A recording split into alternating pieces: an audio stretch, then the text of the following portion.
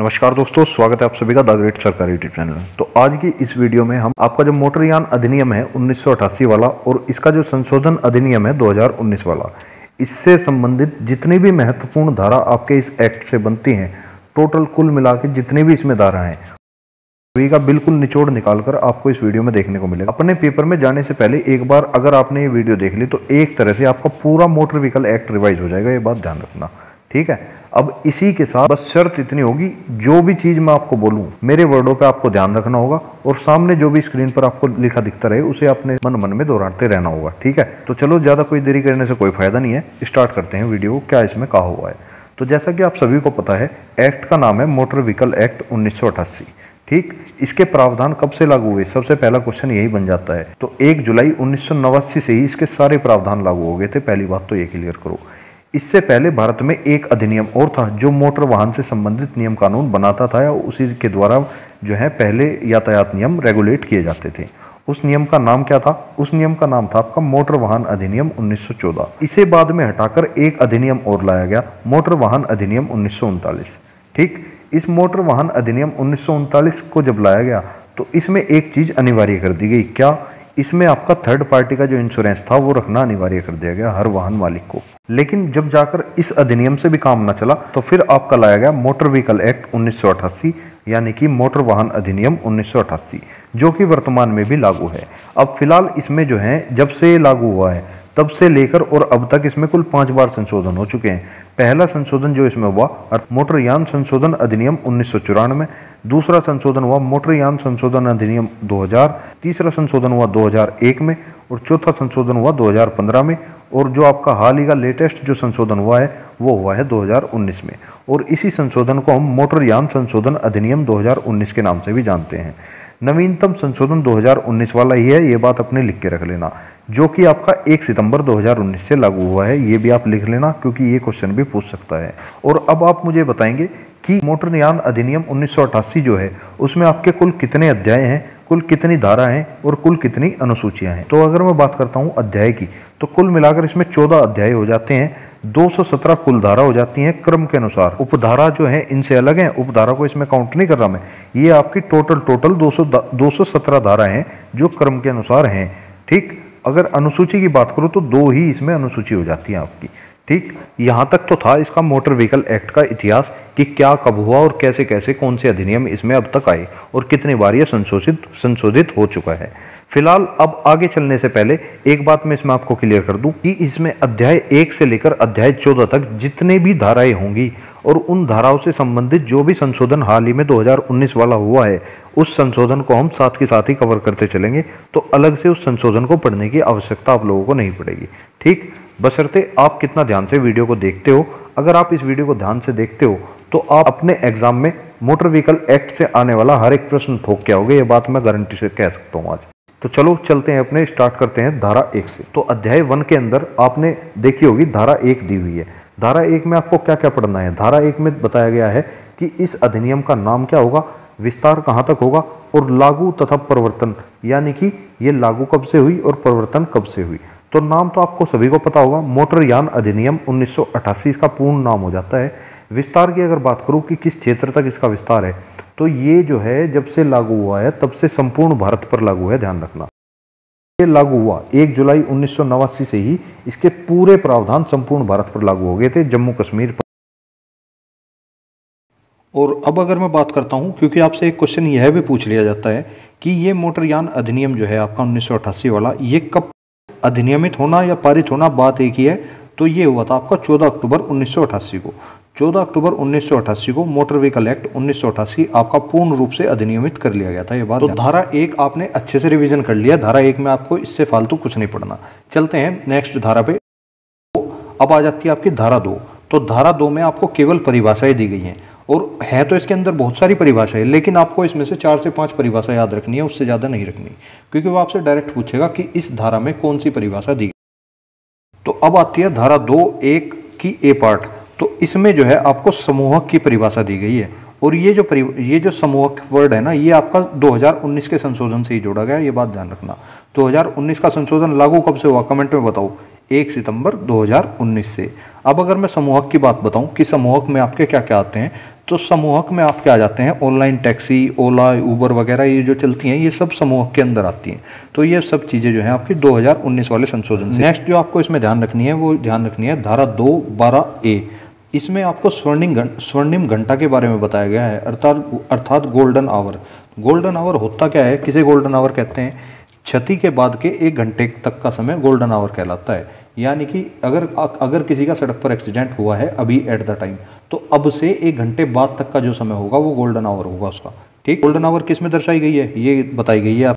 धारा दो बारह के इसी के साथ आ जाती है आपकी धारा दो सबसेक्शन सिक्सटीन इसी में आपको भारी एचएमवी की परिभाषा आपको धारा दो सबसेक्शन सिक्सटीन में दी गई है ये बात ध्यान रखना। ठीक है? अब भारी माल वाहन कहते किसे हैं? क्या परिभाषा है? ये भी आपसे पूछ सकता है। कि जिस खाली वाहन का वज़न 12000 किलो से अधिक हो, जैसे ट्रक वगैरह होते हैं ना तो खाली वाहन का वज़न जिसका 12000 किलो से अधिक होगा ना, वही आपका भारी माल वाहन के अंदर आएगा, ये बात ध्यान रखना। वो आपको कंफ्यूज करेगा, भारी माल वाहन और हल्के मोटर वाहन में कंफ्यूज करेगा, ध्यान रखना। क्योंकि इसमें जो है लिमिट दे रखी है इस मोटर व्हीकल एक्ट के अंदर। तो भारी माल वाहन की जो लिमिट है, वो है कि जिस खाली वाहन का वज़न 12000 किलो से अधिक हो, वो तो भारी माल वाहन के अंदर आ जाएगा। अब नेक्स्ट आपको ध्यान रखनी है धारा दो उपधारा सत्रह। इसमें आपको भारी यात्री वाहन की परिभाषा दी गई है। भारी यात्री वाहन का वज़न भी ऐसे ही होगा। भारी यात्री वाहन की परिभाषा भी यही बताती है कि जिस खाली यात्री वाहन का वज़न 12000 किलो से अधिक हो वो आपका भारी यात्री वाहन हो जाएगा। भारी माल वाहन क्या होगा? जो धारा दो के सोलह में दी गई है जिस खाली वाहन का वज़न 12000 किलो से अधिक हो। भाई ये तो भारी वाहन ही है ना? एक माल वाहन है और एक यात्री वाहन है। तो इसमें क्राइटेरिया क्या है? जो भारी वाहन है, उसके लिए कम से कम बारह हज़ार किलो वज़न तो उसमें अकेले में खाली रूप से होना चाहिए। ठीक? कम से कम बारह हज़ार होना चाहिए भारी वाहन के अंदर। अब देख लेते हैं अपना हल्का वाहन जो तो धारा दो के 21 में आपको हल्के मोटरयान की परिभाषा दी गई है, अर्थात एलएमवी की परिभाषा इसी में दी गई है। तो इसमें आपको बताया गया है कि पिछहत्तर किलो से 12000 किलो तक के वज़न के वाहन को आपका एलएमवी में काउंट किया जाएगा, अर्थात हल्के मोटर वाहन में काउंट किया जाएगा। ये बात ध्यान रखना। अब नेक्स्ट चलते हैं। नेक्स्ट है आपकी धारा दो की पैंतालीस। इसमें आपको यातायात संकेतकों की परिभाषा दी गई है, अर्थात ट्रैफ़िक साइंस जो होते हैं, उनकी परिभाषा इसमें दी गई है। तो ये कुछ मेन मेन इंपॉर्टेंट धाराएँ हैं। दो धारा दो के अंदर जो आती हैं, वो आपको याद रखनी है। ज़्यादा धारा नहीं है। और एक सबसे इंपॉर्टेंट धारा जो फ़िलहाल मैं आपको बता रहा हूँ, धारा दो का ए का एक पार्ट इसमें आपको ई गाड़ी ई रिक्शा की परिभाषा दी गई है। ई गाड़ी को आप ई कार्ट भी कह सकते हो। और ई रिक्शा तो ई कार्ट होती ई रिक्शा तो ई रिक्शा होती ही है। इसकी परिभाषा आपकी 2019 वाले संशोधन से ही जोड़ी गई, ये बात भी ध्यान रखना। और ई गाड़ी या ई रिक्शा में आपका आता क्या है? ऐसा वाहन आता है जिसके अंदर तीन पहिए हों वह चार हज़ार वाट से अधिक की बैटरी ना हो। ठीक है? ये बात ध्यान रखनी है। ये बात पूछी जा सकती है कि ई वाहन या ई रिक्शा या ई गाड़ी की या उसकी जो विशेषता है वो क्या है? तो उसमें आपको तीन पहिए होने चाहिए और चार हज़ार वाट से अधिक की बैटरी ना हो उसमें। यानी कि ज़्यादा से ज़्यादा चार हज़ार वाट तक की बैटरी ही चल सकती है। तो बस धारा दो में आपको इससे ज़्यादा कुछ ध्यान नहीं रखना। धारा दो में बस ये तीन चार परिभाषाएँ हैं जो आपको ध्यान रखनी है, ठीक? अब बात करते हैं धारा तीन की। धारा तीन में आपको बताया क्या हुआ है? धारा तीन में बस सिंपल ये कहा हुआ है कि ड्राइविंग लाइसेंस अनिवार्य होगा। सार्वजनिक स्थानों पर यदि आपको वाहन चलाना है तो डीएल की ज़रूरत आपको पड़नी ही पड़नी है, बिना डीएल के आप चला नहीं सकते, ठीक? नेक्स्ट जो है वो आपकी धारा चार है। इसमें आपको बताया गया है कि ड्राइविंग के लिए आयु सीमा, अर्थात जो आपकी आयु सीमा होगी, वो ड्राइविंग के लिए क्या निश्चित की गई है सरकार की तरफ़ से? तो ये देख लेते हैं डीएल की आयु सीमा क्या है? अट्ठारह वर्ष से कम आयु के व्यक्ति सार्वजनिक स्थानों पर मोटर यान नहीं चला सकते। पहली बात तो ये निर्धारित कर दी। ड्राइविंग करने के लिए आपकी मिनिमम एज जो है वो 18 होनी चाहिए। ठीक है, ये कागजों में दर्ज है पहले से अब इसमें एक दो एक्सेप्शन भी है। अगर आपका वाहन मोटरसाइकिल या विक्की या स्कूटी जो भी है, वो 50 सीसी से अधिक की नहीं है। अर्थात वो केवल 50 सीसी तक की है। तो उसे 16 वर्ष की आयु का व्यक्ति भी चला सकता है, ध्यान रखना। 16 वर्ष की आयु का तो बच्चा ही होता है तो 16 वर्ष की आयु का बच्चा भी उसे चला सकता है, ये बात ध्यान रखना। अदरवाइज़ 18 वर्ष से पहले आप अपने कोई भी वाहन को सार्वजनिक स्थान पर लेकर नहीं उतर सकते, और ना ही उतरना चाहिए, क्योंकि आजकल छोटे छोटे बच्चे बहुत तेज बाइक चलाते हैं, या आपने देखा होगा। रेल बनाते, बिल्कुल सांप बना के रख देते हैं बाइक का। तो इस तरह की एक्टिविटी आपको नहीं करनी, इसीलिए, और धारा सात में आपको बताया गया है कि कौन डीएल के योग्य होगा, अर्थात डीएल बनवाने की योग्यता किसके पास होगी? और इसी में आपको बताई गई है इसकी प्रक्रिया की कैसे कैसे आप जो है अपना डीएल बनवा सकते हो। तो सर्वप्रथम आपको शिक्षार्थी आपको लर्नर लाइसेंस बनवाना होता है, अर्थात शिक्षार्थी अनुज्ञप्ति। अब चलते हैं धारा एट की तरफ़। धारा आठ में आपको लर्नर लाइसेंस के बारे में ही बताया हुआ है, अर्थात शिक्षार्थी अनुज्ञप्ति क्या होती है। तो डीएल बनाने वाली कोई भी अथॉरिटी जो आपके राज्य के अंदर है, उससे आप डीएल बनवा सकते हो, ध्यान रखना। राज्य के किसी भी प्राधिकरण से आप डीएल अपना बनवा सकते हो, ये बात नोट कर लेना। यह प्रावधान आपका 2019 के संशोधन से ही जोड़ा गया था। ठीक? बस आप इन तीन आधार पर डीएल बनवाओगे। या तो आपका निवास स्थान होगा वहाँ, या आपका व्यवसाय स्थान होगा, या फिर आपका शिक्षा का स्थान होगा वहाँ। ठीक? तो इन तीन आधार पर अपना डीएल आप बनवा सकते हो। बस आपकी एज पूरी होनी चाहिए। आप अयोग्य ना हो, ये भी अब आपको मुझे कमेंट में बताना है कि लर्नर लाइसेंस की जो अवधि होती है वो कितनी होती है? धारा नौ में आपको मुख्य ड्राइविंग लाइसेंस अर्थात जो आपका मेन ड्राइविंग लाइसेंस होता है एल वो जारी किया जाता है इसके तहत। और धारा नौ के तीन के तहत ही आपका प्रशिक्षण का भी व्यवस्था है इसमें कि आपका टेस्ट वगैरह लिया जा सकता है किस धारा के तहत? धारा नौ के तीन के तहत। और इसी में एक मेन इंपोर्टेंट धारा आ जाती है। तो अब देखो इसमें क्या है?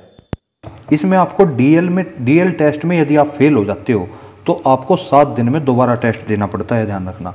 अगर आप सात दिन में टेस्ट देते हो और अगर आप इस टेस्ट में तीन बार फेल हो जाते हो तो फिर साठ दिनों बाद ही आपका टेस्ट या फिर किसी ड्राइविंग स्कूल से आपके सर्टिफिकेट की भी मांग की जा सकती है, ये बात ध्यान रखना।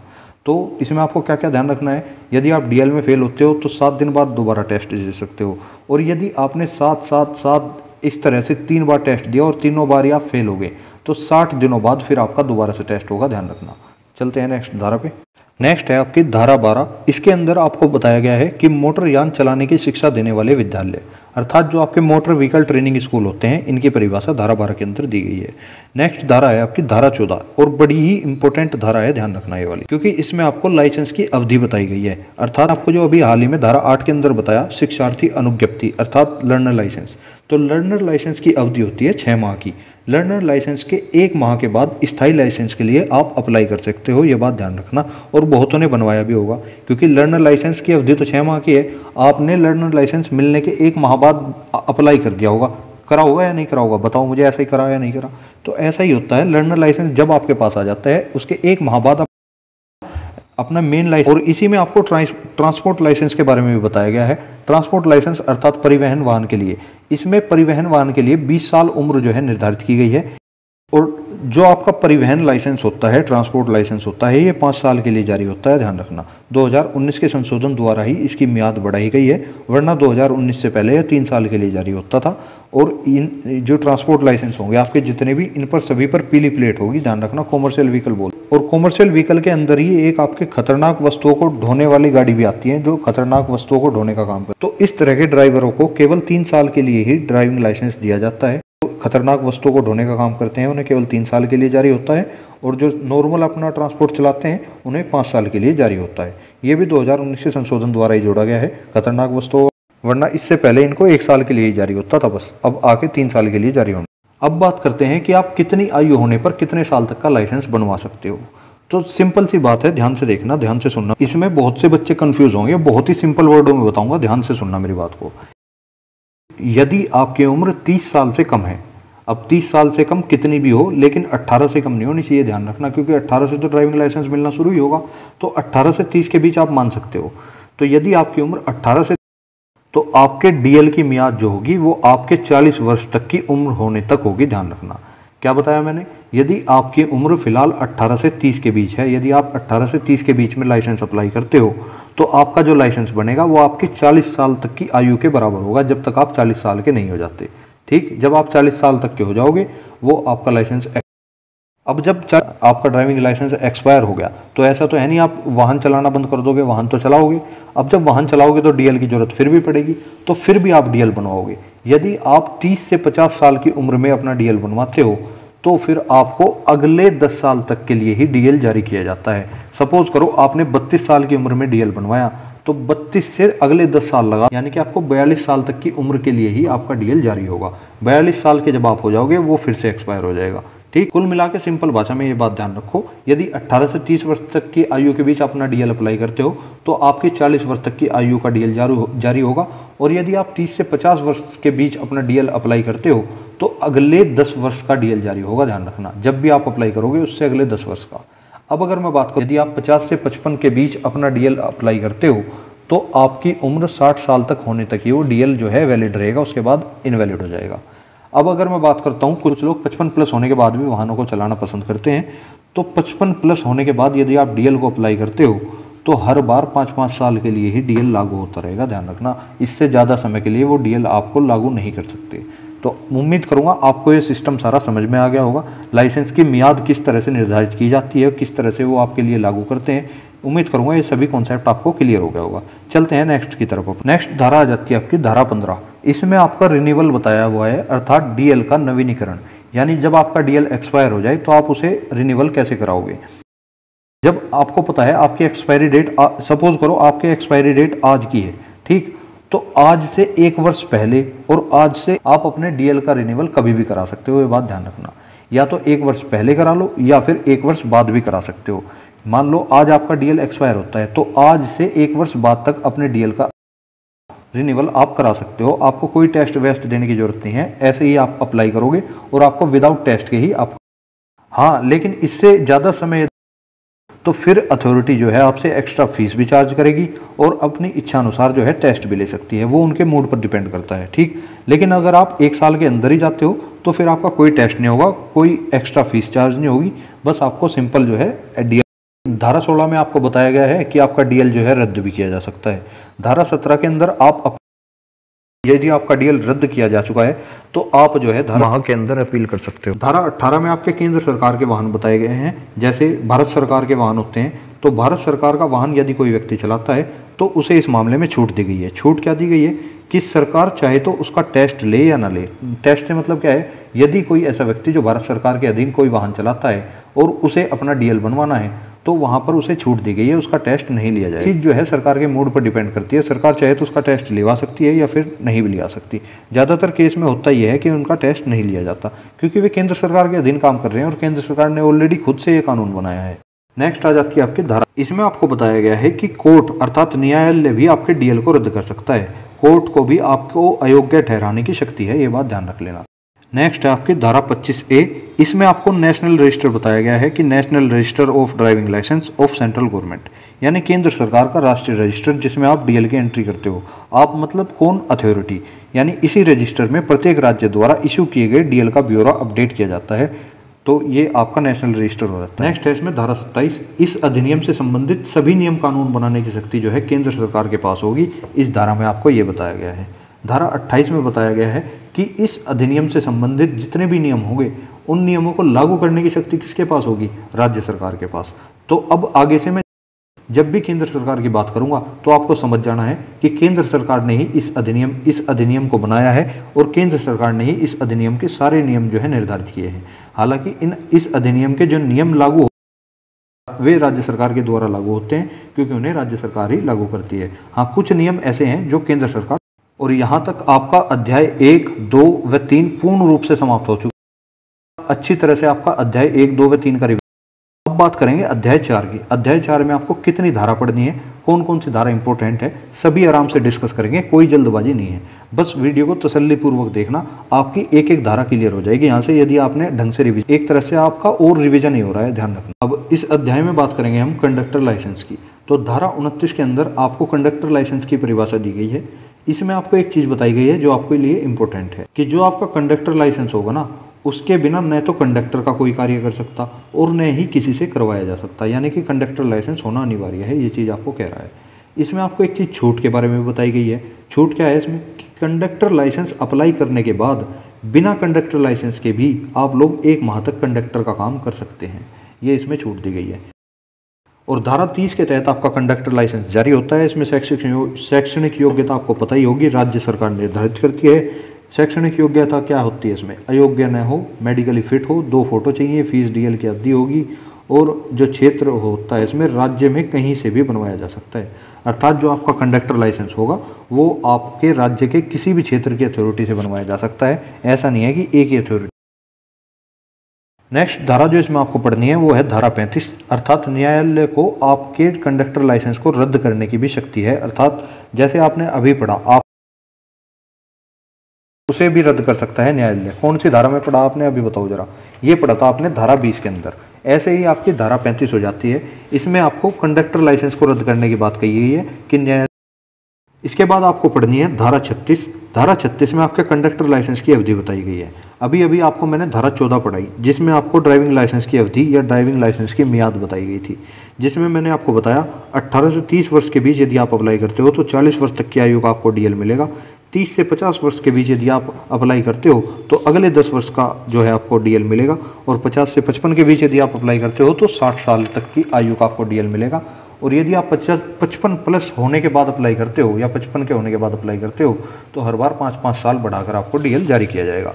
सेम यही सारे कंडीशन सेम यही सारे सरकमटांसेस जो हैं कंडक्टर लाइसेंस के साथ हैं, जो कि आपके धारा छत्तीस में बताए गए हैं। तो कोई भी जरा सा भी अंतर नहीं है सेम वही चीज़ और धारा 36 के अंदर ही आपको इसमें बताया गया है कि आप कंडक्टर लाइसेंस का रिन्यूअल क्या रिन्यूअल का भी सेम वही क्राइटेरिया है जो आपके ड्राइविंग लाइसेंस का था। क्या? कि एक्सपायरी डेट से एक वर्ष पहले या एक्सपायरी डेट के एक वर्ष बाद तक आप जो है इसको रिन्यूअल के लिए अप्लाई कर सकते हो। ठीक? और जरा मुझे कमेंट बॉक्स में बताना कि कौन सी धारा के तहत आपके डीएल का रिन्यूअल किया जाता है? कौन सी धारा के तहत डीएल का नवीनीकरण होता है?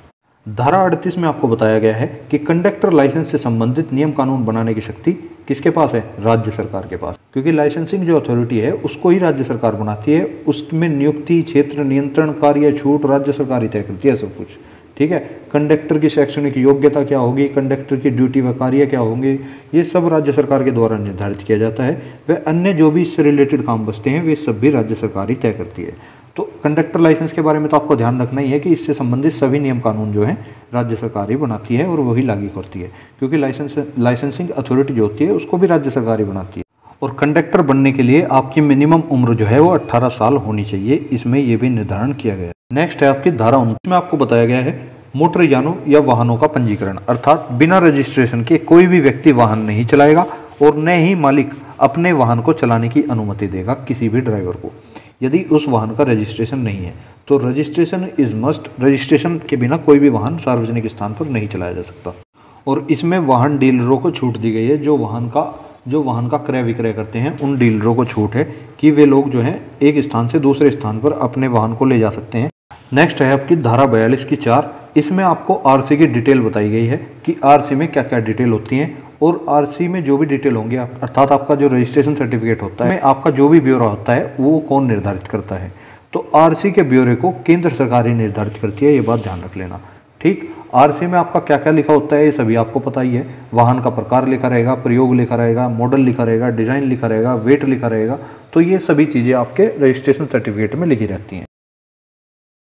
नेक्स्ट है आपकी धारा बयालीस की छः इसके तहत आपका रजिस्ट्रेशन मार्क पंजीकरण चिन्ह या जिसे आप हिंदी में नंबर प्लेट भी कह देते हो वो जारी किया जाता है। केंद्र सरकार राज्यवार नंबरों का वितरण करती है ये बात ध्यान रखना। 2019 के संशोधन द्वारा वाहन की डिलीवरी रजिस्ट्रेशन के बाद ही होती है। लोग वाहनों की डिलीवरी तो ले, ले लेते थे और लेकिन रजिस्ट्रेशन जो है किसी किसी वाहन का रह 2019 के संशोधन में यह भी प्रावधान रखा गया कि अब शोरूम से बाहर जो वाहन जाएगा, अर्थात वाहन की डिलीवरी जो, जब ही होगी, जब आपका रजिस्ट्रेशन हो। और इसी में आपके रजिस्ट्रेशन सर्टिफिकेट की पंजीकरण अवधि भी बताई गई है कि आपकी आरसी जो है वो कब तक वैलिड रहेगी। अर्थात इसकी अवधि जो है, आपकी आरसी की अवधि होती है पंद्रह वर्ष, जो कि केंद्र सरकार के द्वारा निर्धारित की गई है। और इसमें फेरबदल, अर्थात इसमें चेंजमेंट जो है, केंद्र सरकार ही करेगी और कोई कर नहीं सकता। पंद्रह साल बाद रिन्यूअल होगी, केवल परंतु यातायात वाहनों के अंदर आरसी रिन्यूअल वाहन की कंडीशन के आधार पर होता है। ये बात। नेक्स्ट अगर मैं बात करता हूँ, नेक्स्ट है आपकी धारा तिरालीस। इसके इसके तहत आपका अस्थायी पंजीकरण आ जाता है, अर्थात टेम्परेरी नंबर प्लेट आपको धारा तिरालीस के तहत ही देखने को मिलती है। राज्य सरकार इसका डिज़ाइन बनाती है। वो आपसे पूछ सकता है कि अस्थायी वो कौन सी सरकार निर्धारित करती है, केंद्र सरकार या राज्य सरकार? तो इसमें आपका जो करेक्ट आंसर होगा, वो होगा राज्य सरकार। इसकी अवधि केवल एक माह की होती है, अस्थायी पंजीकरण के ध्यान रखना। सेम स्टेट में ही गाड़ी चला सकते हो, इससे आप जब तक फिक्स नंबर प्लेट नहीं मिलती। यदि आप टेम्परेरी नंबर प्लेट के साथ अदर स्टेट में चले जाते हो तो आपका चालान भी हो सकता है, ये बात ध्यान रख लें और ध्यान आपको ये भी रखना है कि टेम्परेरी नंबर प्लेट की अवधि केवल एक माह तक ही होती है, एक माह बाद वो एक्सपायर हो जाती है, ये बात ध्यान रखें नेक्स्ट जो आपको इसमें पढ़नी है, वो पढ़नी है धारा पचास।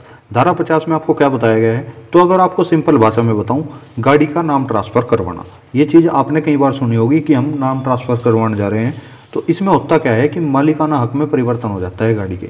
अर्थात यदि उसी राज्य में गाड़ी खरीदी या बेची गई है सेम स्टेट की बात हो रही है, यदि आपने उत्तर प्रदेश से ही गाड़ी ली और उत्तर प्रदेश के अंदर ही किसी को बेच दी तो चौदह दिन के अंदर आपको नाम ट्रांसफ़र कराना होगा, नाम परिवर्तन कराना होगा।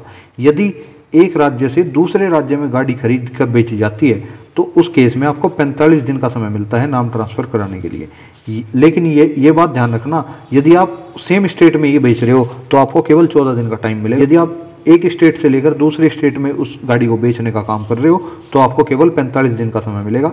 रजिस्ट्रेशन भी दोबारा उसी राज्य में होगा, जिस राज्य में आप गाड़ी को बेच रहे हो। नेक्स्ट जो धारा आपको इसमें पढ़नी है, वो है धारा बावन। इसके तहत आपके वाहनों के निर्माण में परिवर्तन करने पर बैन लगाया गया है। ये चीज़ है क्या? अर्थात आपने देखा होगा, बहुत से लोग अपने वाहनों का मॉडिफिकेशन करवा लेते हैं।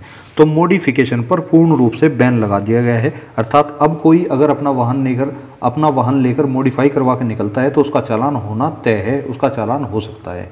हाँ वो बात अलग है। पुलिस वाले का मूड क्या है, वो देख कर छोड़ रहा है तो वो उसको उसको ये मत समझना कि ये चीज़ अब कानून में नहीं लिखी हुई है। तो कानून में लिखी हुई है मॉडिफिकेशन पूर्ण रूप से बैन कर पूर्ण रूप से बैन कर दिया गया है। यदि आप अपने वाहन मॉडिफिकेशन कराते हो तो आपका रजिस्ट्रेशन जो है शून्य घोषित कर दिया जाता है। आधारभूत बदलाव भी यदि आपने करवाए हैं, जैसे पेट्रोल गाड़ी में सीएनजी फिट करवा दी तो भी आपका रजिस्ट्रेशन रद्द किया जा सकता है, यदि आपने वो आरसी में नहीं चढ़वा और अब इसी के साथ देख लेते हैं कि वाहन के पंजीकरण का निलंबन, अर्थात वाहन के पंजीकरण को सस्पेंड किन किन केस में किया जा सकता है। तो आपको इसमें धारा तिरपन एक का ए पार्ट, इसमें आपको बताया गया है कि यदि आपका वाहन जनता के प्रयोग के लिए खतरा बन जाता है तो भी आपका आरसी रद्द किया जा सकता है। जब वह नियमों की आवश्यकताओं की पूर्ति न करता हो अर्थात केंद्र सरकार ने तो कम प्रदूषण वाले वाहनों को चलाना अनिवार्य किया है। आपका वाहन ऐसा है जो अधिक प्रदूषण करता है। तो इस तरह के वाहनों की भी आरसी रद्द की जाती है। दूसरी जो कंडीशन है आरसी रद्द होने की, वो है आपके वाहन का वैध परमिट ना होना। यदि आपके पास वैलिड परमिट नहीं है अपने वाहन का, या फिर वाहन परमिट समाप्त हो चुका है तो भी आपका आरसी रद्द किया जा सकता है। लेकिन इस केस में आपका चार माह तक का मैक्सिमम सस्पेंड हो सकता है। चार माह तक के लिए ही आपकी आरसी रद्द की जा सकती है। और जो रद्द करने वाला अधिकारी होगा, उसको आदेश पत्र में निलंबन का कारण भी दर्ज करना अनिवार्य होगा, ये बात भी लिख लेना। और अब आप नेक्स्ट धारा में देखोगे आरसी को कैंसिल करना। बिल्कुल पूर्ण रूप से कैंसिल कर दी जाती है। यदि कोई आरसी तो उसका सिस्टम भी देखना है। धारा पचपन के तहत आपको पंजीकरण रद्द करने की बात की गई है, अर्थात रजिस्ट्रेशन को पूर्ण रूप से कैंसिल कर देना। अभी तक आपने देखा था, पंजीकरण सस्पेंड करना या पंजीकरण का निरस्त कर देना। अब आप देखोगे पंजीकरण को रद्द करना। तो आरसी कैंसिल किन किन केस में होती है, ये भी देख लो एक बार। यदि वाहन नष्ट कर दिया जाए, किसी के भी द्वारा, यदि आपने कर दिया हो या किसी और ने कर दिया हो, यदि आपका वाहन नष्ट हो चुका है तो आपको आरसी कैंसिल करवानी होगी। या वो प्रयोग के लायक ना हो, आप उसे यूज़ ना कर पा रहे हो इस कंडीशन या फिर ऐसा हो, जिसकी मरम्मत भी नहीं की जा सकती हो, मरम्मत योग्य भी हो ना हो। तो ऐसे केसेस में आपके वाहन का जो आरसी है, वो कैंसिल कराना ही अनिवार्य होता है। और ये बात आरसी को रद्द भी मूल पंजीकरण अधिकारी करेगा, क्योंकि इसी ने ही आरसी जारी की थी और यही अधिकारी जो है आरसी को कैंसिल कर सकता है।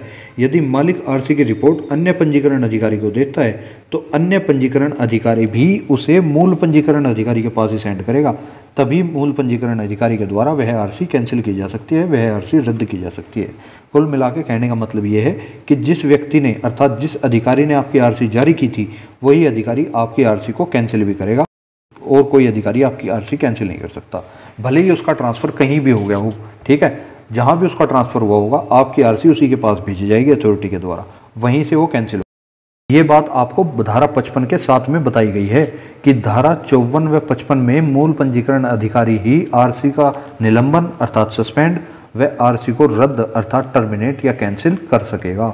अन्य पंजीकरण अधिकारी आरसी को मूल पंजीकरण अधिकारी को ही सेंड करता है। ये बात बाकायदा लिखी गई। अब इसके बाद देख लेते हैं। धारा छप्पन में आपको बताया गया है, केवल यातायात वाहनों के लिए फिटनेस सर्टिफिकेट अनिवार्य होगा। क्योंकि फिटनेस सर्टिफिकेट क्योंकि फिटनेस सर्टिफिकेट के बिना उन यातायात वाहनों का पंजीकरण भी वैध नहीं माना जाता। तो उनके लिए फिटनेस सर्टिफिकेट अब अगर इसमें थोड़ा सा एक्स्ट्रा फैक्ट आपको ये बता के चलूँ कि फिटनेस सर्टिफिकेट को जारी कौन उसके लिए बनाने से मना कौन करता है तो फिटनेस सर्टिफिकेट जारी करेगी आपकी राज्य सरकार और फिटनेस सर्टिफिकेट के लिए मना करेगी आपकी रजिस्टर और इसमें एक केस ये भी है कि यदि आपके वाहन की आयु पूरी हो चुकी है तो आपका फिटनेस सर्टिफिकेट नहीं बनता। फिटनेस सर्टिफिकेट केवल उसी कंडीशन में बनेगा, यदि आपके वाहन की आयु कागजों में अभी बची हुई है तो ही आपका फिटनेस सर्टिफिकेट नेक्स्ट आपको इसमें देखनी है धारा उनसठ। अर्थात इसमें आपको बताया गया है कि वाहन की आयु सीमा का निर्धारण कौन करता है। धारा उनसठ के एक में ही आपको ये चीज़ लिख दी गई कि केंद्र सरकार वाहन की आयु सीमा का निर्धारण करेगी। अर्थात कोई वाहन कितने साल तक के लिए वैलिड होगा। जैसे आपने देखा होगा कि एनसीआर में जो भी वाहन चलते हैं, पेट्रोल के वाहन जो हैं, वे 15 साल के लिए वैलिड हैं और डीजल वाले वाहनों की अवधि जो है, वो 10 साल तक ही वैलिड रखी गई है। तो आपको क्या लगता है, इस चीज़ का निर्धारण किसने किया होगा? इस चीज़ का निर्धारण किया है आपकी केंद्र सरकार ने और ये मोटर व्हीकल एक्ट के अंदर ही निर्धारण किया हुआ है और कहीं नहीं है, क्योंकि ये सभी चीज़ जनता की सुरक्षा व एक्ट के उद्देश्यों की पूर्ति करने के लिए लागू की गई थी। नेक्स्ट आपको इसमें देखनी है धारा साठ। धारा साठ में बताया गया है कि केंद्र सरकार के वाहनों का पंजीकरण, अर्थात केंद्र सरकार के वाहनों का रजिस्ट्रेशन किस प्रकार से होगा? तो इसके अंदर एक प्रावधान दिया गया है कि केंद्र सरकार के जितने भी वाहन होंगे, उनके लिए एक विशेष जो कि वही इनका रजिस्ट्रेशन करेगी। अर्थात उसके अंदर केंद्र सरकार के सारे वाहन आएँगे, रक्षा से इस नियम के तहत जो भी बनने वाले होते हैं वे आएँगे, सामान्य नियमों से छूट वाले आएँगे। नेक्स्ट है आपकी धारा बासठ इसमें आपको बताया गया है कि चोरी के वाहनों की सूचना या चुराए या बरामद वाहनों की सूचना पुलिस के द्वारा राज्य परिवहन प्राधिकरण को सूचित की जाएगी। तो ये चीज़ आपको ध्यान रखनी है। चोरी की, चोरी के वाहनों की सूचना का प्रावधान किसमें है? और इसी के साथ हमने धारा चार के अंदर जितनी भी महत्वपूर्ण धाराएँ हम पढ़ सकते थे या जितनी भी हमें पढ़नी ज़रूरी थी, अब हम इसमें देखने का प्रयास करेंगे अध्याय पाँच की तरफ़। तो अध्याय पाँच में आपको बताया गया है कि परिवहन वाहनों का नियंत्रण, जिसमें आपको धारा छियासठ से छियानवे के बीच देखने के लिए मिलती और इनके अंदर से भी हमें गिनी चुनी धाराएँ को याद करना है, ज़्यादा धाराएँ इसमें नहीं है। इसके अंदर पहली धारा जो है, वो है आपकी धारा छियासठ। इसमें आपको बताया गया है कि परमिट की ज़रूरत किस वाहन को पड़ती है। तो यात्री वाहन में भी परमिट जारी किया जाता है और माल वाहन में भी परमिट जारी किया जाता है। यात्री वाहन के परमिट को आप स्टेज कैरेज बोलते हो और माल वाहन के परमिट को आप गुड्स कैरेज और जो बात इसमें ध्यान देने वाली है, निजी वाहनों पर निजी प्रयोग है तो कोई परमिट नहीं दिया जाता। अर्थात यदि आपकी कोई कार है, आपने खरीदी है अपने स्वयं के प्रयोग के लिए खरीदी है तो उस पर आपको परमिट की ज़रूरत नहीं होती। तो इसलिए वहाँ पर परमिट जारी नहीं किया जाता है। अब कुछ ऐसी कंडीशंस हैं जिनमें वाहनों को परमिट से छूट दी गई है। कौन कौन सी कंडीशन है? इनमें से आपको पूछ सकता है कोई भी कंडीशन देख के, कोई भी कंडीशन दे के कि इनमें से किस वाहन को परमिट से छूट प्राप्त है। तो देख लेते हैं एक बार। पहली कंडीशन है आपकी, केंद्र सरकार व राज्य सरकार के जितने भी वाहन होंगे, उन सभी को जो है परमिट से छूट दी गई है। उन्हें उन्हें कोई परमिट की ज़रूरत नहीं है, वे कहीं भी जा सकती हैं किसी भी राज्य में। नेक्स्ट है इसमें, स्थानीय निकाय, स्थानीय निकायों के जो भी वाहन होंगे या उनके द्वारा हायर किए हुए जो भी वाहन होंगे, उन सभी को भी छूट प्राप्त है। नेक्स्ट है इसमें, पुलिस की गाड़ी हो, अग्निशमन की गाड़ी हो, या फिर एंबुलेंस हो, या फिर लाश ढोने वाले वाहन हो, इन सभी को भी परमिट से छूट प्राप्त है। नेक्स्ट आ जाता है, खराब वाहन को टो करने के लिए। जो गाड़ियाँ होती हैं, उन्हें भी इसमें परमिट से छूट प्राप्त है। आपने देखा होगा कि यदि किसी की गाड़ी का एक्सीडेंट किसी दूसरे राज्य में हो जाता है तो वहाँ से जो गाड़ी उसको परमिट करने के लिए लेकर आती है, वो किसी दूसरे स्टेट की गाड़ी होती है कई बार। तो उसे भी इस कंडीशन में छूट प्राप्त है परमिट से। नेक्स्ट है इसमें वाहन निर्माता कंपनी के वाहन। जैसे मारुति हुई, आपकी महिंद्रा हुई तो इस तरह से वाहन निर्माण करने वाली जो कंपनी के वाहन हैं उन्हें भी छूट प्राप्त है परमिट से। वे भी किसी राज्य में आना जाना कर सकती है विदाउट परमिट नेक्स्ट है इसमें तीन हज़ार किलो तक के माल वाहन जो होते हैं अर्थात तीस क्विंटल तक का जो भी माल, वाहन होगा उसे भी हाँ, तीस क्विंटल से अधिक वज़न वाला यदि आपका कोई माल वाहन है तो उस पर परमिट लेना अनिवार्य होगा। तीस क्विंटल तक आपको छूट प्राप्त है। नेक्स्ट है इसमें बाढ़ भूकंप। व रोड रुकावट के लिए प्रयोग होने वाला जो वाहन होता है उसको भी इसमें परमिट से छूट प्राप्त है। नेक्स्ट आ जाता है खरीद पर या कॉन्ट्रैक्ट पर या डिलीवर करने हेतु जो वाहन होता है, वो भी आपको परमिट से छूट प्राप्त मिलता है। नेक्स्ट आ जाता है इसमें मरम्मत के लिए ले जाने हेतु खाली। और नेक्स्ट एंड लास्ट है, आपातकालीन उपयोग के लिए जो वाहन होते हैं, वे भी इसमें छूट प्राप्त। और इस लिस्ट के अंदर राज्य व केंद्र सरकार और वाहनों की भी छूट दे सकती है अपनी मर्ज़ी के अनुसार।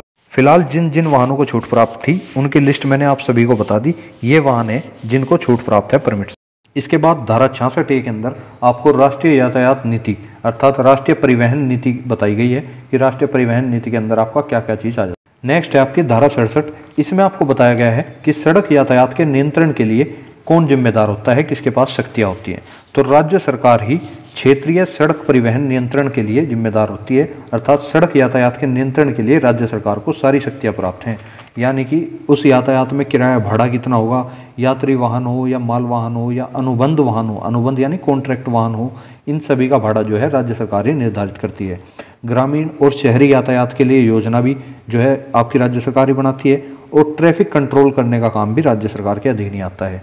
सड़क पर सुरक्षा हेतु जितने भी प्रबंध किए जाते हैं सब राज्य सरकार के अधीन किए जाते हैं और पर्यावरण सुरक्षा करना भी राज्य सरकार का ही इसके अंदर काम दिया गया है। और इसी के साथ आपको बता दूँ, यातायात वाहनों के परमिट संबंधी फार्म हो फ़ीस हो, या उनके निलंबन संबंधी कोई काम हो, या उन्हें रद्द करना हो, ये सब काम भी राज्य सरकार ही तय करती है।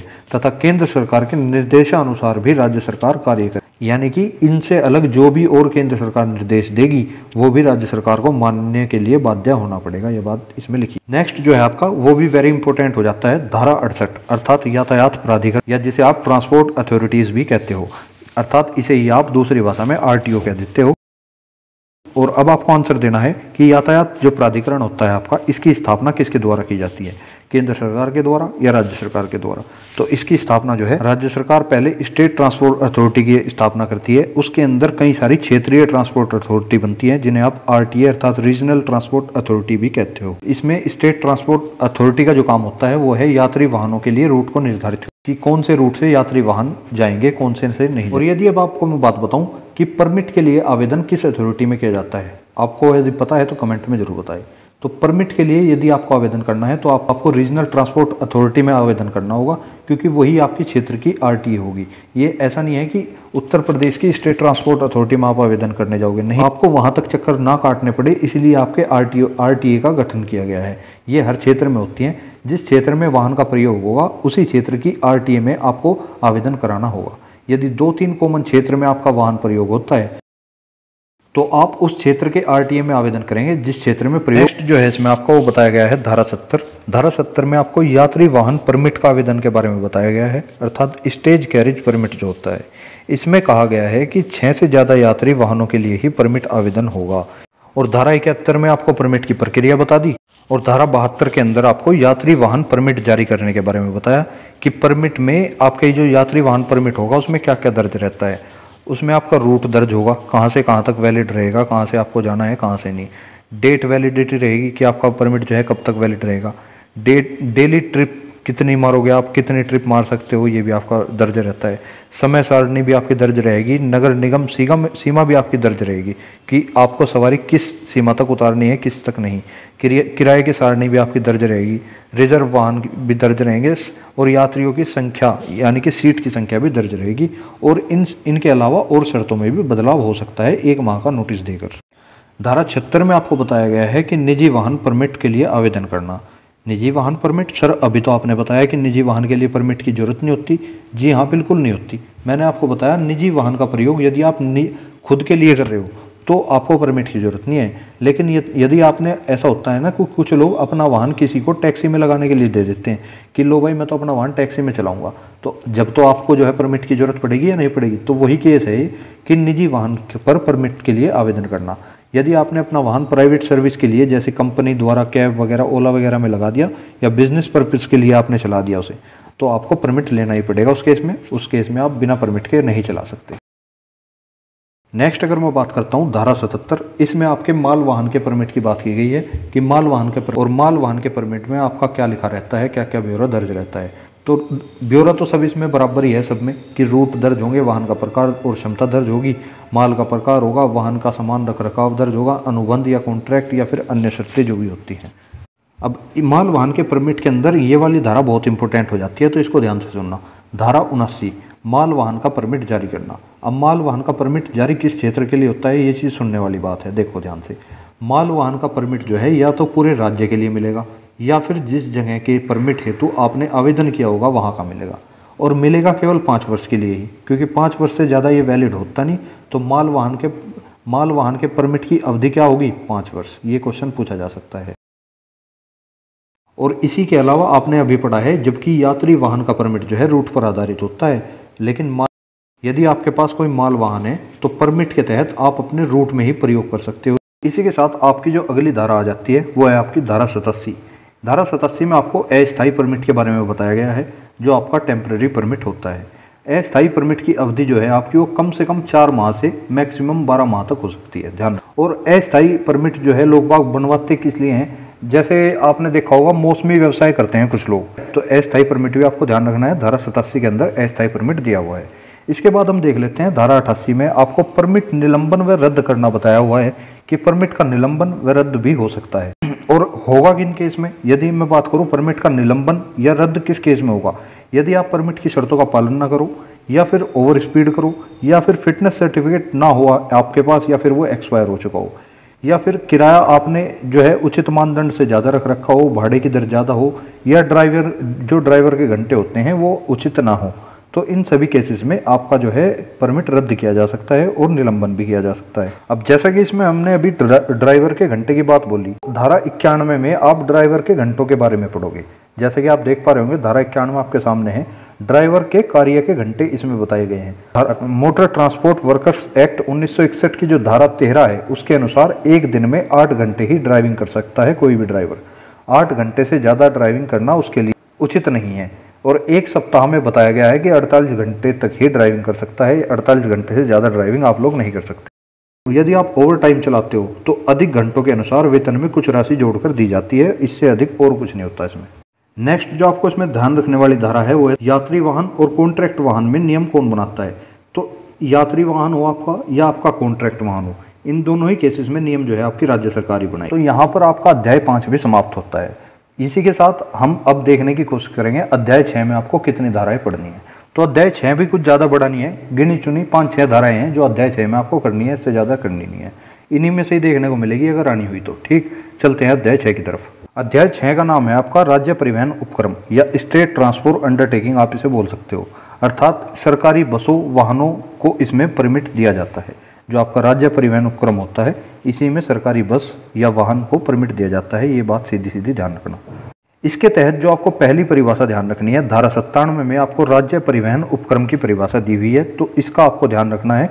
वो सीधा सीधा पूछ लेगा कि राज्य परिवहन उपक्रम की परिभाषा किस धारा में आपको बताई गई है। तो ये धारा सत्तानवे के अंदर है। इसके बाद आपको देखनी है इसमें धारा 103 धारा 103 में आपको क्या बताया हुआ है कि राज्य परिवहन उपक्रम को परमिट जारी करना। और एक चीज़ ध्यान रखना नोट कर लेना कहीं भी कि अध्याय जो ये जो आपका छह है ना, राज्य परिवहन उपक्रम वाला, इसके खिलाफ आप कोई भी कहीं पर भी अपील नहीं कर सकते, बिल्कुल भी, किसी भी केस इसके बाद आपको देखनी है धारा 105 धारा 105 में आपको बताया हुआ है कि निजी परमिट धारकों को मुआवजा। हालाँकि ये धारा इतनी इंपॉर्टेंट नहीं है, लेकिन एक बार ऊपर ऊपर से ध्यान रखना कि निजी परमिट धारकों को जो मुआवजा मिलता है, वो धारा 105 के तहत मिलता है। इसमें जो मेन इंपॉर्टेंट धारा है, वो है धारा 106 राज्य परिवहन में गुम सामान मिलने पर क्या करना होगा? आपने देखा होगा यूपीएसआर सीटीसी की जो बसें हैं, अर्थात Uttar Pradesh state road transport जो कॉरपोरेशन है, उसकी जो बसें हैं, उनमें कई बार यात्री अपना सामान भूल जाते हैं, होता है ऐसा। यूपीएसआरटीसी में नहीं, कहीं भी, किसी भी राज्य की बस में देख लेना, लोग वहाँ कई बार अपना सामान भूल जाते हैं। तो वो जो सामान उस बस में वे लोग भूल गए तो उस सामान की ज़िम्मेदारी किसकी है? फ़िलहाल इसमें, इस धारा में आपको यही पढ़ने के लिए मिलेगा। अब इसमें एक कंडीशन दी हुई है कि यदि सामान आपका राज्य परिवहन के ही किसी बंदे को मिल जाता है तो वो एक निश्चित समय तक तो अपने पास रखेगा, फिर बाद में उसको बेच देगा। ये इसमें सीधा सीधा कहा हुआ है।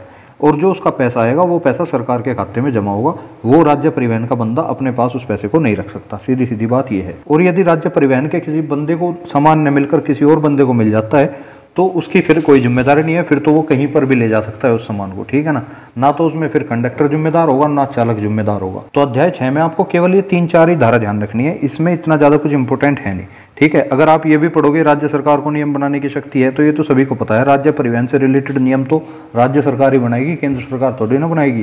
भाई, जो भी राज्य सरकार के जो भी नियम फार्म होते हैं, आपत्ति का तरीका होता है, आपत्ति का प्रोसेस होता है, या गुमसमान की ज़िम्मेदारी या विधि प्रक्रिया जो भी होती है, वो राज्य सरकार ही तो निर्धारित करती है, क्योंकि राज्य सरकार के अधीन उपक्रम है, वो चलाया जा रहा है। तो इसलिए ये चीज़ तो आपको ज़्यादा देखने की ज़रूरत है नहीं, ये तो नॉर्मल कॉमन सेंस वाली बात है कि अगर यूपीएसआरटीसी के संबंधी कोई नियम बनाना है तो यूपी गवर्नमेंट ही बनाएगी एमपी गवर्नमेंट तो बनाएगी नहीं, ठीक है नहीं? चलते हैं अब नेक्स्ट अध्याय पर।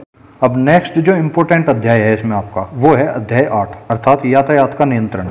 इसमें आपको यातायात के नियंत्रण से संबंधित सारे नियम कानून बताए जाएँगे, जो भी इसके बारे में व्यवस्था है या अव्यवस्था है, सब कुछ इसमें और इसका प्रावधान जो है आपका धारा 112 से 138 तक देखने को मिलता है। तो सबसे पहले इसमें हमें धारा 112 ही देखनी होगी। धारा 112 में आपकी लिमिट ऑफ़ स्पीड के बारे में बताया गया है, अर्थात गति सीमा के बारे में।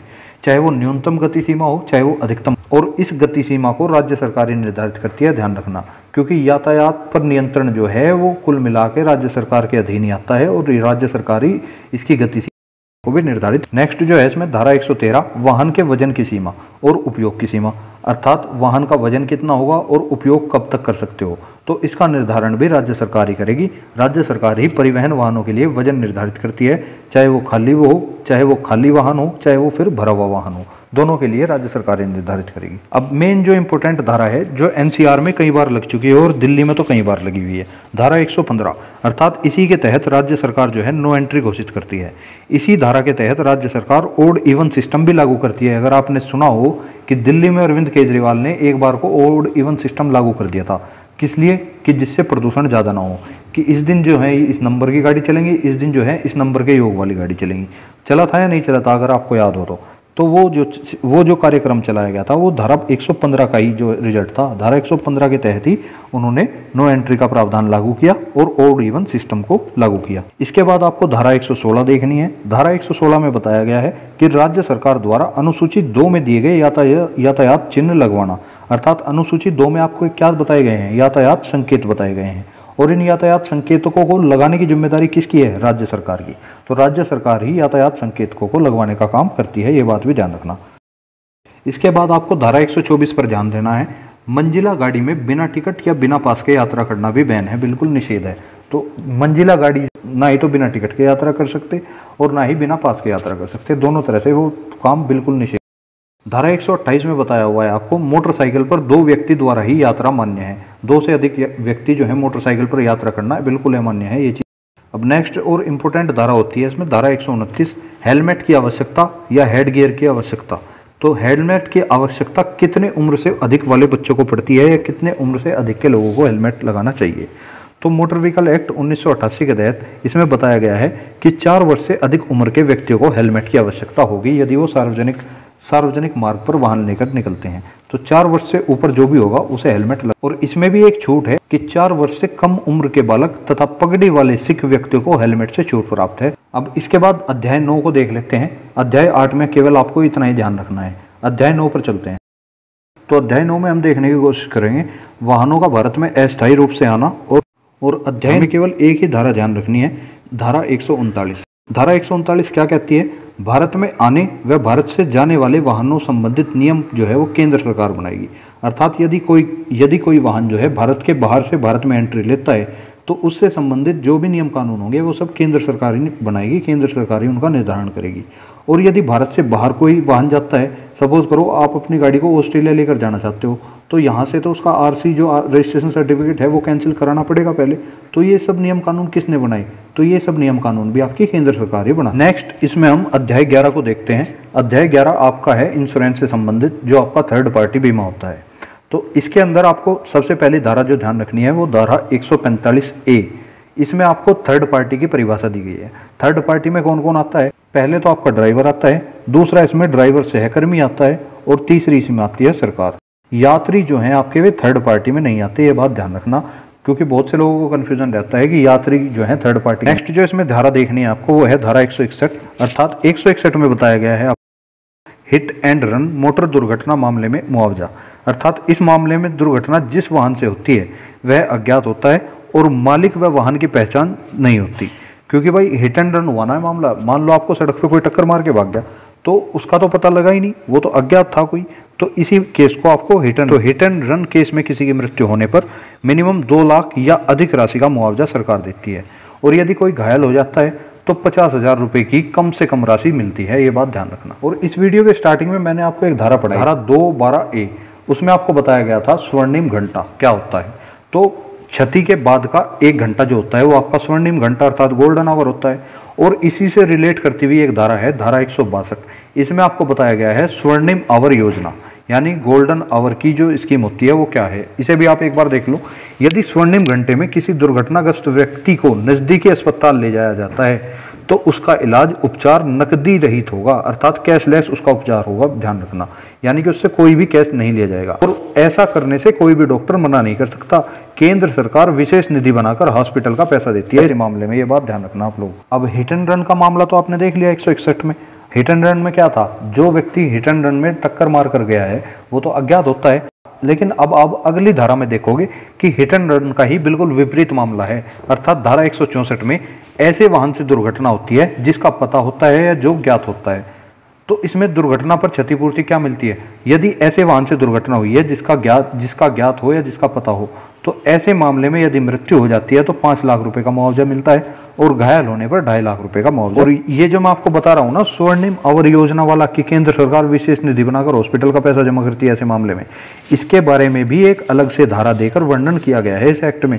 यदि आप मोटर व्हीकल एक्ट की धारा एक बी पढ़ते हो ना तो उसमें स्पेशली रूप से यही बताया हुआ है कि केंद्र सरकार मोटर वाहन दुर्घटना निधि का गठन करेगी और इसी निधि से हॉस्पिटल का पैसा दिया जाता है। अब इसके बाद हम अध्याय बारह पे चलते हैं। अध्याय बारह है आपका दावा अधिकरण अर्थात क्लेम्स ट्रिब्यूनल जहाँ पर आप अपने दुर्घटना या अपने किसी मामले का क्लेम करते हो। इसमें धारा दी हुई है एक सौ पैंसठ से एक सौ छिहत्तर तक, लेकिन इसमें हमें केवल दो ही धारा ध्यान रखनी है, ध्यान से देखो। सबसे पहले धारा एक सौ पैंसठ देखते हैं। धारा एक सौ पैंसठ में आपको बताया हुआ है कि दावा अधिकरण का गठन कौन करेगा? दावा अधिकरण का गठन हमेशा राज्य सरकार करेगी, ये बात आपको नोट करनी है, ठीक है? और इसमें एक एक अधिकरण भी हो सकता है या एक से अधिक अधिकरण भी हो सकते हैं। नेक्स्ट जो इसमें देखनी है, वो है धारा एक सौ तिहत्तर।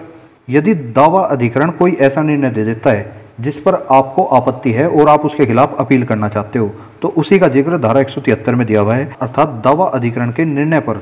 90 दिन के अंदर हाई कोर्ट में अपील की जा सकती है और कहीं अपील नहीं होगी, ध्यान रखना। और कितना समय दिया है? 90 दिन का समय दिया हुआ है। और इन दावा अधिकरणों को सिविल कोर्ट की सभी शक्तियाँ प्राप्त होती हैं। अब इसके बाद जो आ जाता है आपका मोस्ट इंपोर्टेंट अध्याय तेरह, जिसमें आपके अपराध व दंडों के बारे में प्रावधान दिया गया है तो देख लेते हैं। वैसे तो मैं आपको एक सेपरेट वीडियो बनाकर अपराध व दंड बता चुका हूँ। कितना कौन सा अपराध होने पर कौन सा चालान आपका होता है, आप लोगों को वीडियो शो हो रही होगी ऊपर भी। आई बटन में भी वीडियो का लिंक है और डिस्क्रिप्शन में भी उसका लिंक दिया हुआ है। यदि किसी को अपराध व चालान की वीडियो अलग से करनी हो तो वहाँ से जाकर भी कर सकता है। लेकिन उस वीडियो में जो है, एक या दो चालान में मुझे लगता है मिस्टेक हो चुकी है। तो इसलिए मैं अब यहाँ पे भी आपके दोबारा से कवर करा दूँगा। तो चिंता करने वाली बात है नहीं। तो अध्याय तेरह को जब आप देखोगे तो धारा 177 से धारा 210 ए बी सी डी तक दिया हुआ है। लेकिन अभी आपको इसमें सारी नहीं पढ़नी। हाँ मोस्टली धारा इसमें आपको याद करनी होगी। याद भी क्या करनी होगी? मैं तो उम्मीद यही कर रहा हूँ कि आप सभी लोगों ने पढ़ लिया होगा। बस ये तो आपका अब लास्ट टाइम का रिविजन चल रहा है। ठीक है? तो जितनी धारा आपको याद करनी होगी, वे तो आप कर ही चुके होंगे।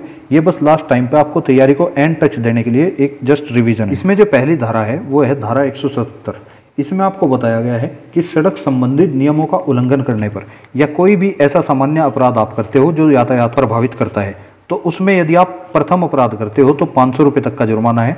यदि आप द्वितीय अपराध करते हो अर्थात दूसरी बार कोई अपराध करते हो तो पंद्रह सौ तक का जुर्माना आपको लग सकता है। और ये जो दूसरे अपराध का जो जुर्माना है, इसका प्रावधान एक सितंबर 2019 से ही जुड़ा है। एक सितंबर 2019 से ही इसके रेट जो हैं, वे बढ़े हैं। नेक्स्ट जो आप इसमें देखोगे, धारा एक सौ अठहत्तर अर्थात बिना टिकट यात्रा करने पर इसमें जो दंड मिलेगा आपको वो पाँच सौ रुपये तक का चलान हो सकता है। किराया तो वसूला ही जाएगा, प्लस पाँच सौ का दंड अलग से मिलेगा, ये बात ध्यान रखना। ऐसा नहीं है कि पाँच सौ का दंड देके आपको जाने दिया जाएगा, नहीं।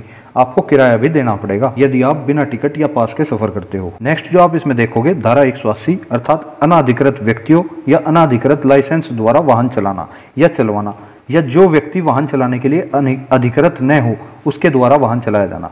तो इसमें आपको तीन महीने की सजा मिलेगी या फिर पाँच हज़ार रुपये का जुर्माना होगा, या फिर ये दोनों भी वसूले जा सकते हैं, ये बात ध्यान रखना। तो इसलिए जो व्यक्ति वाहन चलाने के लिए अधिकृत हो अथॉरिटी से पूरी तरह से, वही वाहन चलाए। इस धारा का प्रावधान स्पेशल बच्चों की ड्राइविंग को देखते हुए रखा गया है, क्योंकि वे बिल्कुल साफ़ बना देते हैं। नेक्स्ट जो इसमें आपको देखनी है, वो है धारा एक सौ इक्यासी, अर्थात बिना डीएल के वाहन चलाना या बिना लाइसेंस के वाहन चलाना। तो यदि आप बिना लाइसेंस के कोई भी वाहन चलाते हो तो आपको पाँच हज़ार रुपये का जुर्माना या फिर तीन माह की सज़ा हो सकती है या फिर ये दोनों भी हो सकते हैं। नेक्स्ट इसमें है, धारा एक सौ बयासी, यानी कि उम्र न होने पर या फिर अयोग्य होने पर भी वाहन चलाना, ये धारा एक सौ बयासी के तहत दस हज़ार रुपये का फाइन लगता है ऐसे केस में, और या फिर तीन माह की सजा हो सकती है या फिर ये दोनों ही हो सकते हैं। नेक्स्ट जो इसमें है, वो है धारा एक सौ तिरासी, ओवर स्पीड में वाहन चलाना, या फिर अत्यधिक गति से आप वाहन को दौड़ाते हो, हाई स्पीड ड्राइविंग जब आप करते हो तो ऐसे केस में हल्के वाहनों के लिए आपको एक हज़ार रुपये का प्रावधान का, एक हज़ार रुपये के फाइन का प्रावधान है और जो बाहरी वाहन को ऐसे दौड़ाता है, उसके लिए दो हज़ार रुपये का प्रावधान दिया गया है। और यदि फिर भी नहीं मानते तो दूसरी बार यदि आप सेम अपराध करते हो तो आपका डीएल ही जब्त कर लिया जाता है। नेक्स्ट जो आपको पढ़नी है, वो है धारा एक सौ चौरासी। धारा एक सौ चौरासी में आपको बताया हुआ है, खतरनाक ड्राइविंग का दंड। अर्थात जब आप खतरनाक तरीके से वाहन चलाते हो तो ऐसे केस में आपको पाँच हज़ार रुपये का जुर्माना या फिर छः माह से एक साल तक की सज़ा भी हो सकती है। या फिर ये दोनों ही काम आपके साथ हो सकते हैं। और खतरनाक ड्राइविंग में किस तरह की ड्राइविंग आती है, ये भी चीज़ मैं आपको बता क्योंकि मोटर व्हीकल एक्ट में पाँच पॉइंट ऐसे बताए गए हैं, जो खतरनाक ड्राइविंग के अंदर ही किए जाते हैं। जैसे आप लाल बत्ती को पार कर जाओ तो भी आप खतरनाक ड्राइविंग में ही गिने जाओगे। स्टेप चिन्हों का उल्लंघन कर दो, तब भी ऐसा ही होगा। गाड़ी चलाते समय मोबाइल का उपयोग करोगे तो भी खतरनाक ड्राइविंग में ही आपकी काउंटिंग होगी। और यदि आप नो एंट्री को तोड़ते हो तो होगी होगी बिल्कुल फिर तो। खतरनाक तरीके से वाहनों को पास करते हो, तब भी आप खतरनाक ड्राइविंग के अंतर्गत ही फाइन के भुगतान करने के नेक्स्ट जो इसमें है, वो है धारा एक उस एक में आपको क्या कहा हुआ है कि यदि कोई अथॉरिटी के आदेश की अवहेलना करता है तो उसको दो हज़ार रुपये का चालान या दो हज़ार रुपये का भुगतान करना पड़ेगा, दो हज़ार रुपये का फाइन उस पर लगेगा ही लगेगा। नेक्स्ट जो है, वो है धारा एक इसमें आपको बताया गया है कि शराब पीकर ड्राइविंग करने का दंड या फिर नशे में ड्राइविंग करने का दंड क्या होगा। यदि आप शराब पीकर गाड़ी चलाते हो तो धारा एक के तहत दस हज़ार रुपये या फिर छः माह से एक साल तक की सज़ा आपको हो सकती है या ये दोनों काम भी आपके साथ हो सकते हैं। और ऐसा मत समझना कि शराब पीकर गाड़ी चलाने का किसी को पता नहीं लगेगा, क्योंकि अब पुलिस वालों के पास हाईटेक ब्रेथ एनालाइजर आ चुके हैं। उनके द्वारा वे पता लगा लेते हैं, यदि 100 एम रक्त में 30 एम से अधिक एल्कोहल पाया जाता है आपके अंदर तो आपको जो है दोषी पाया जाएगा और आपको दंड देना है। नेक्स्ट जो है, धारा एक सौ अर्थात वन इसमें क्या कहा हुआ है? इसमें कहा हुआ है कि सार्वजनिक मार्ग पर बिना सरकार के लिखित सहमति के रेस करते हो यदि आप, या तेज गति का टेस्ट करते हो किसी वाहन की तो आपको धारा एक सौ नवासी के तहत पाँच हज़ार का दंड हो सकता है, या फिर तीन माह तक की सजा हो सकती है, या फिर ये नेक्स्ट जो इसमें आप देखोगे, वो है धारा एक सौ बयासी बी, अर्थात ओवर साइज़ वाहन को चलाना। ओवर साइज़ वाहन यदि आप चलाते हो तो इसमें आपको धारा एक सौ बयासी बी के तहत पाँच हज़ार का चालान फाइन हो सकता है, ये बात ध्यान नेक्स्ट जो आपको इसमें पढ़नी है, वो है धारा एक सौ बानवे ए अर्थात इसमें आपको कहा हुआ है कि विदाउट परमिट गाड़ी चलाना। विदाउट परमिट यदि कोई गाड़ी चलाता है तो दस हज़ार रुपये का फाइन एक सौ बानवे ए के तहत उस पर लगाया जाता है। नेक्स्ट जो इसमें आपको ध्यान रखनी है, वो है धारा एक सौ चौरानवे इसमें कहा हुआ है ओवरलोडिंग करना। तो यदि आप अपने वाहन पर ओवरलोडिंग करते हो तो बीस हज़ार रुपये का फाइन प्लस दो हज़ार रुपये टन अलग से जुर्माना इसमें लगेगा, ध्यान रखना।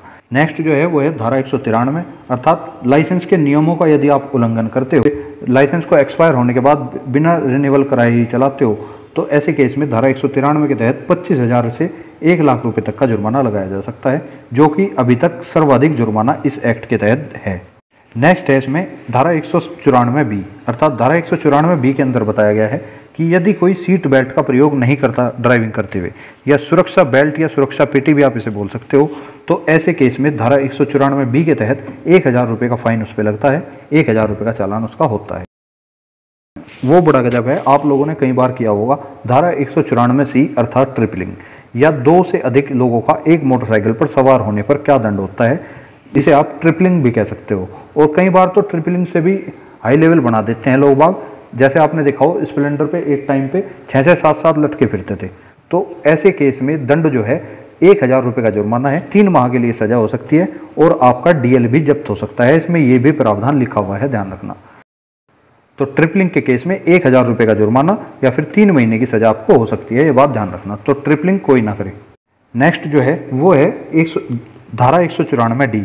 बिना हेलमेट के यात्रा करने पर। तो यदि कोई बिना हेलमेट के यात्रा करता है तो उसे एक हज़ार रुपये का दंड या फिर तीन माह के लिए डीएल उसका जब्त हो सकता है, ये बात ध्यान रखना। तीन माह के लिए लाइसेंस रद्द हो जाएगा यदि बिना हेलमेट के यात्रा करोगे या फिर एक हज़ार रुपये का। नेक्स्ट जो है, वो है धारा एक सौ चौरानवे ई। ये बड़ी इंपॉर्टेंट हो जाती है। इसमें कहा है कि आपातकालीन वाहनों को रास्ता न देने पर आपको क्या दंड मिलेगा? यदि आपने एंबुलेंस वगैरह को कभी रास्ता न दिया तो छः माह तक की सजा हो सकती है या फिर दस हज़ार रुपये तक का जुर्माना हो सकता है या फिर ये दोनों ही हो सकते हैं। तो इसलिए जो भी आपातकालीन वाहन हो, जो भी इमरजेंसी वाहन हो, उसको सर्वप्रथम प्रायोरिटी पर रख के रास्ता दें। जो आपको इसमें देखना है, वो है धारा एक सौ छियानवे।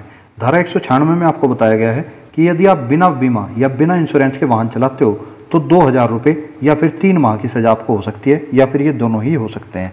तो बिना इंश्योरेंस के भी वाहन न चलाएँ। तो जो आपका इसमें है, वो है धारा एक सौ निन्यानवे। इसमें कहा हुआ है, यदि कोई अपराध किसी किशोर द्वारा किया जाता है और अभिभावक को इसकी जानकारी है तो दंड अभिभावक को मिलेगा ध्यान रखना, यानी कि नाबालिग द्वारा गाड़ी चलाने पर। किशोर तो वही होगा जिसकी उम्र 18 वर्ष से कम होगी और अभिभावकों को भी उसकी जानकारी है कि इसने जो है वाहन चलाया है। तो ऐसे केस में पच्चीस हज़ार रुपये तक का जुर्माना है ये बात ध्यान रखना। प्लस तीन साल की सजा है। और बारह महीने के लिए यानी एक साल के लिए वाहन का रजिस्ट्रेशन हो जाएगा। रद्द जो किशोर होगा उसे पच्चीस साल के बाद ड्राइविंग लाइसेंस मिलेगा उससे पहले मिलेगा नहीं। ठीक? और इसमें एक चीज़ और ध्यान रखना यदि आप रोंग साइड ड्राइविंग करते हो तो पाँच हज़ार रुपये का जुर्माना आपको आपको लगता है।